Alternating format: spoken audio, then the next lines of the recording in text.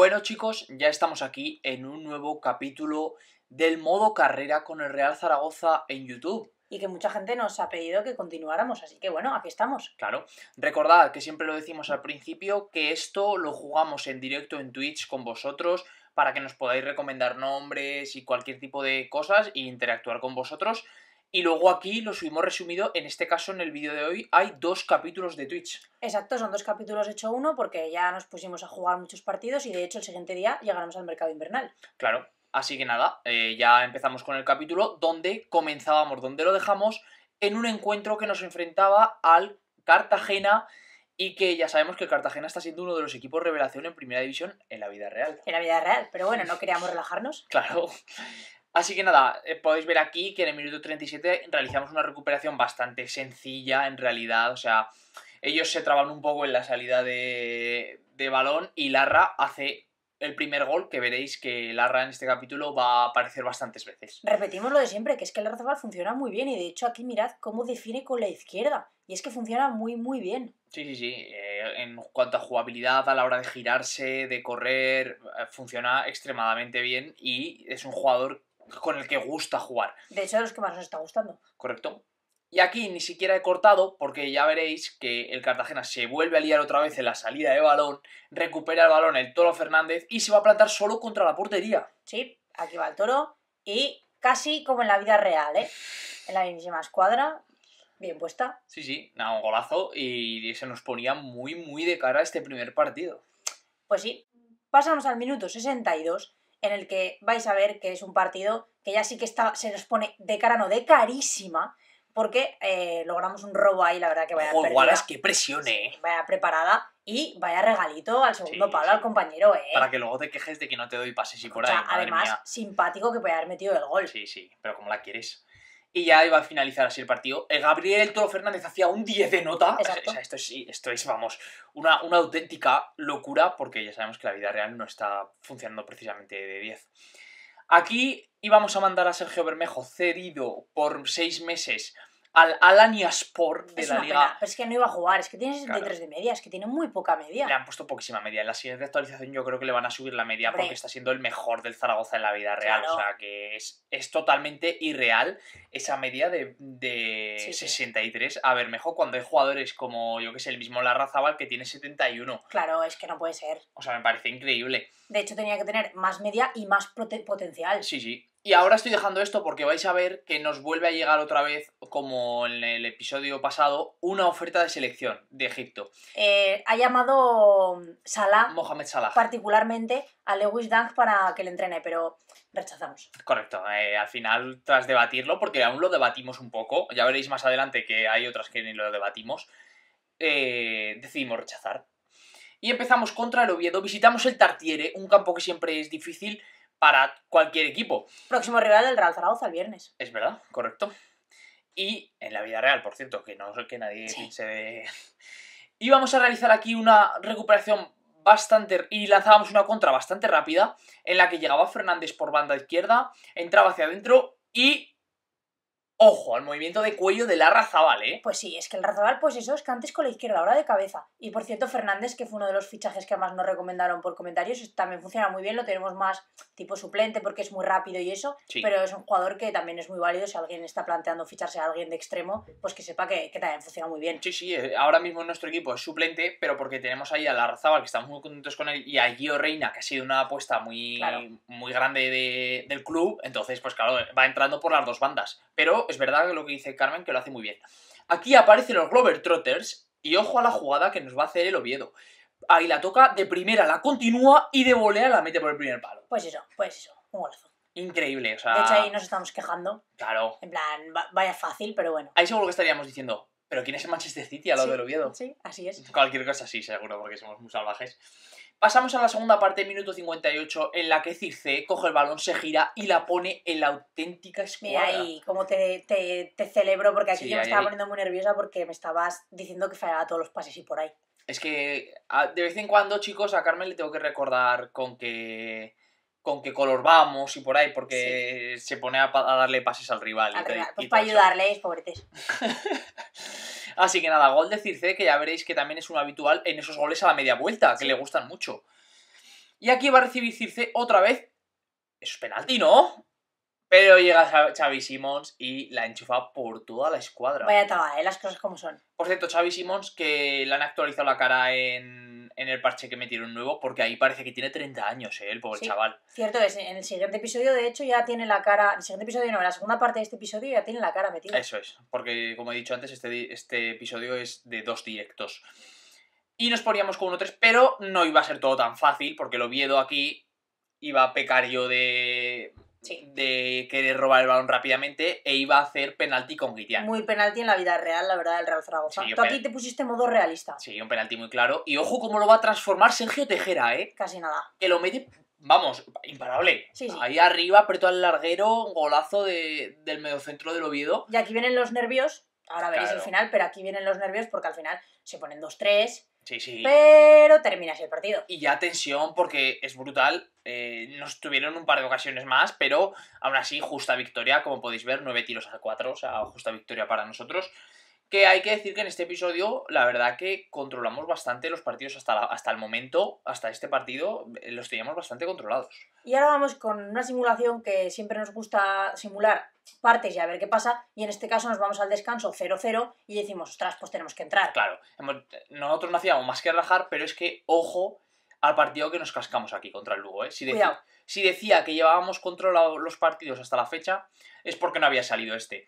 Se Cuidado. adelantaba el Lugo con gol de Cristian Herrera en el minuto 50. Qué defensa más débil. Y aquí, en minuto 56, fijaos que apenas ha pasado nada, una jugada, llega el Puma y penalti. Y penalti otra vez de Ángel Gascón, de nuevo.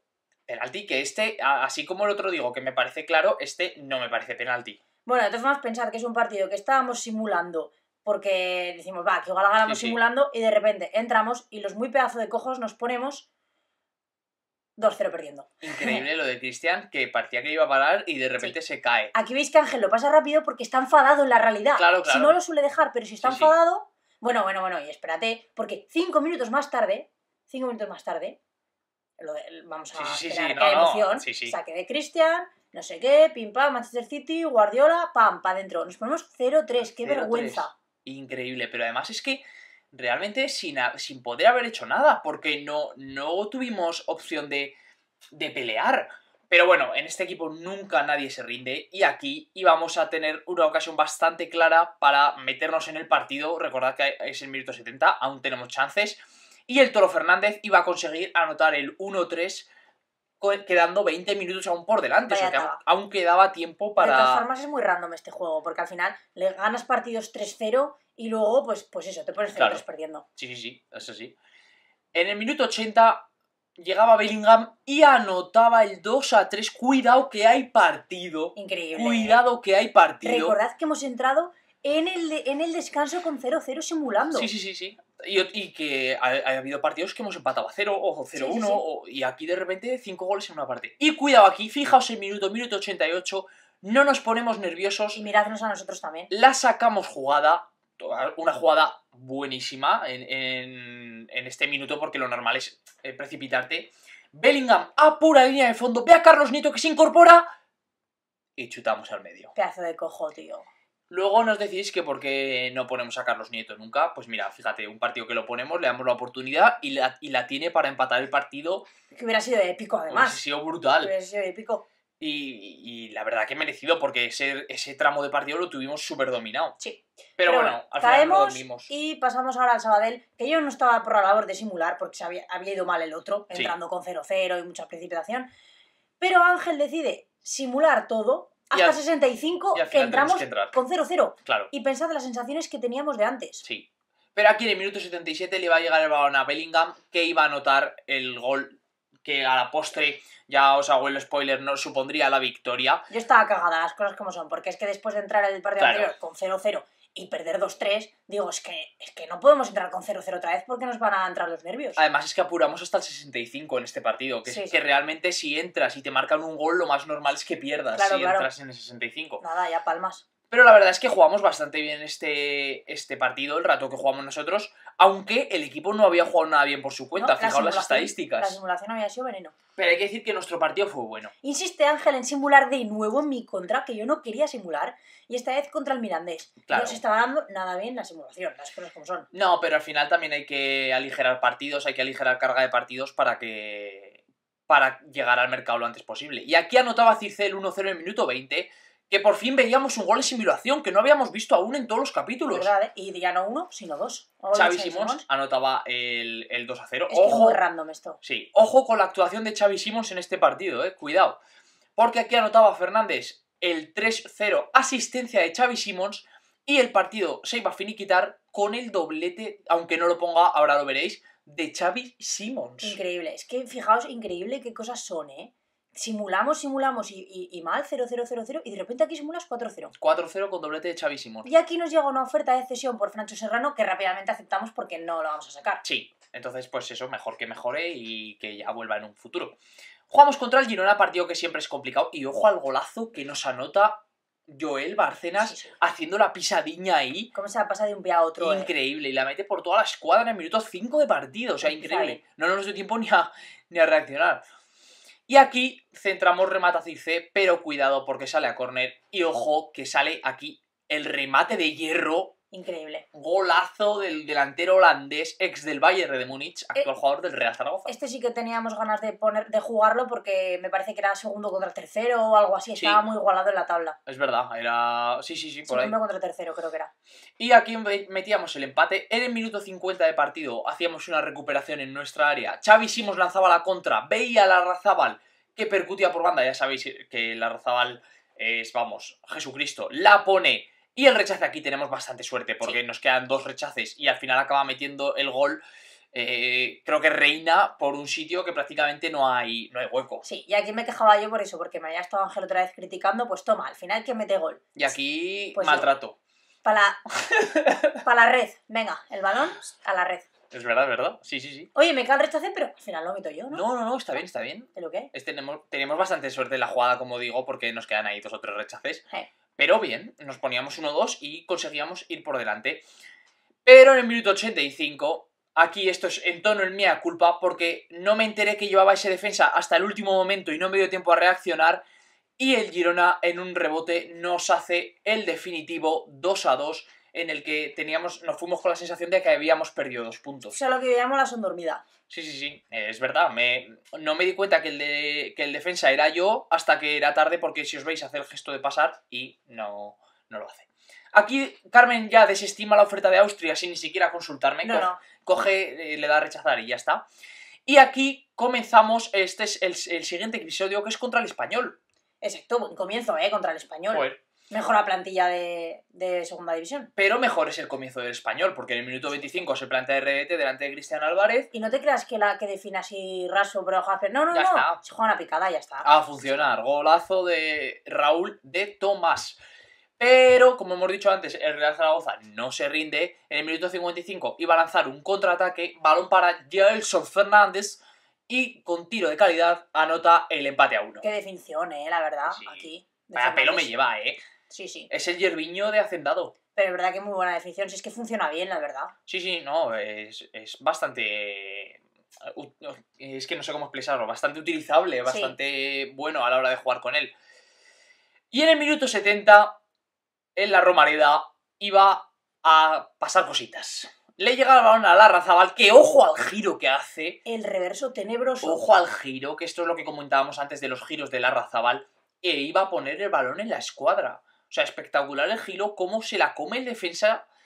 De hecho, yo aquí me meto con Ángel porque creo que Sí. le doy el pase para que le pegue directamente por dentro. verdad, y de repente hace un giro ahí tenebroso. Es verdad, y me insulta. Como podéis ver, fue un partido que merecimos ganar, 9 tiros a 4 y que fuimos superiores. Nueva cesión esta vez para Carbonell, que nos piden con compra. Ángel dice que de comprar nada, Claro. que se va solo cedido y ya veremos. Así que eso es lo que le decimos. Eso es. Y visitamos las Gaunas, visitamos a la Unión Deportiva Logroñés y también optamos por simular el partido que iba a comenzar en el minuto 30 con gol de García Larrazábal otra ¿Cómo vez. no? El de siempre. Y en el minuto 43 íbamos a tirar una contra. ¿Y quién iba a marcar? Dímelo. La razón. Anotaba el 0-2 Y aquí Carmen me dice, oye, vamos a simular hasta el final, si total esto Claro. está ganado. 0-2. Si la Pues máquina ha ido 0-2 simulando por sí sola. Claro, sí, sí. Y efectivamente estaba ganado. Y aquí es el partido que se jugó ayer, Mm. pero en el juego. Y aquí esto es muy curioso porque, bueno, primero comentamos esta jugada que acaba en gol de Sí, Gio Reina. Ya lo comento yo, los pedazos sinvergüenzas de FIFA cogen y ponen por defecto a los dos con la misma equipación y no se veía nada. Es que no se veía nada, no sabíamos ni a quién pasarle el balón, era una vergüenza. No podíamos hacer nada y fue el solo. Era solo por las medias lo que distinguíamos, porque los dos camiseta blanca y los dos pantalón azul. No se veía nada, yo no sabía ni a quién pasársela. Era increíble. Fijaos ahora mismo, pues fijaos cuando hay una jugada así revuelta como esta, por ejemplo. Le damos a la. X o al triángulo y lo que surja. Claro. Hay que guiarse, pues yo qué sé, pasársela todo el rato a Circe, por ejemplo, que lo distingues por los pelos. O al que tiene el así. triángulo que es tu compañero. Claro, eso es. Y aquí Circe iba a hacer el 2-0 eh, a la postre definitivo. Hay que decir que aquí jugamos fatal. Sí, Tuvieron un lo iba a millón comentar yo de ocasiones y tuvimos una suerte de la leche. Vais a ver las estadísticas que las, que las ocasiones son más o menos parejas ahora al final. Pero así ya serán clarísimas. Pero nada más lejos de la realidad. El Tenerife tuvo dos o tres clarísimas, nos salvó Cristian. Y aquí podéis ver la cara de Circe, que ya estaba escaneada. Sí, cierto es. Y el siguiente partido es otro partidazo, el, la visita a los Juegos del Mediterráneo para jugar contra la Unión Deportiva Almería. Que en este momento iban primeros. Sí, correcto. Giro tenebroso de nuevo. Está muy de moda ahora los giros Sí. tenebrosos dentro del área del Real Zaragoza. Y gol de Fernández. Acabamos de ver un giro de Circe, giro de la Razábal Fernández. y ahora, y ahora giro de Fernández. O sea, del Toro Fernández que ya, ya os decimos que es- nuestros jugadores se giran, vamos, Sí. pero que parece enferrado en fútbol sala. Funcionan muy bien los giros porque a la hora de, de fijar al defensa te lo quitas muy bien con el cuerpo, sobre todo con jugadores corpulentos como Circe, el mismo Toro Fernández. Y en el minuto 75 íbamos a tirar una contra. Hay que decir que este partido, como veréis luego en estadísticas, eh, era totalmente controlado por nosotros. Creo que tuvimos 10 tiros a puerta y ellos uno, o sea que realmente fue un partido que dominamos de principio a fin. Y aquí la Razabal, que iba a hacer su tiro cruzado Como ya siempre. habitual, iba a anotar el a la postre eh, definitivo 0-2 para el Real Zaragoza, que daba un golpe encima de la mesa ganando en casa de la Almería. De hecho, es que lleva muchísimos goles en la Razabal y juega de extremos, que al final, Sí. eh, pues eso, que es, es que está muy bien el jugador. Además, creo que al final de este partido eh, fue lo primero que pensamos. ¿Cuántos goles llevará la Razabal? Y llevaba, vamos, una, una. Mira, ahí lo pone. 8 goles en solo en Liga. Es una barbaridad jugando de extremo. Jugando de extremo es, es brutal. Y aquí podéis ver que finaliza 0-2, pero eso, 4 tiros nosotros 10, 8 a puerta ellos 1. O sea Sí. que realmente partido muy, muy controlado. Otra oferta de selección como es Islandia y otra vez la vuelve a cerrar Carmen sin a mí hacerme Para, para. partícipe de, de nada. y nada, chicos, por aquí queda el vídeo de hoy. Si os ha gustado, ya sabéis, darle al like. Estaremos en Twitch próximamente jugando el siguiente capítulo. Venir para aquí para ponernos nombres y cualquier tipo de cosas de fichajes o cualquier cosa. Y además, en el siguiente episodio probablemente entremos en el fichaje invernal, así que habrá también cositas, cesiones, Hombre, claro, eh, opciones de compra futuras y cosas calientes. todo, todo. Así que nada, chicos, si os gusta este tipo de contenido, como digo, darle al like, suscribíos y nos vemos en el siguiente vídeo. Chao.